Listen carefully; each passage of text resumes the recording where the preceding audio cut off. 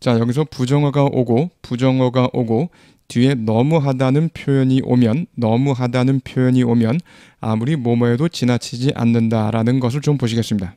You can never be too careful.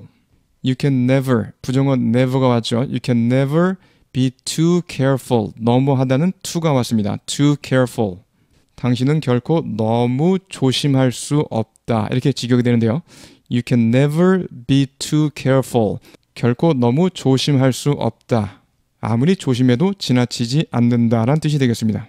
I can't emphasize this enough. 나는 이것을 충분히 강조할 수 없다. 아무리 강조해도 충분히 할 수 없는 거죠. I can't emphasize this enough. 내가 이것을 아무리 강조해도 지나치지 않는다. 다른 말로 I can't overemphasize this 이렇게 할 수 있습니다. I can't overemphasize this. You can't repeat this enough. 당신은 이것을 충분히 반복할 수 없다. 아무리 반복해도 충분하지 않은 거죠. 그래서 아무리 반복해도 지나치지 않는다. You can't repeat this enough. 이것을 아무리 반복해도 지나치지 않는다.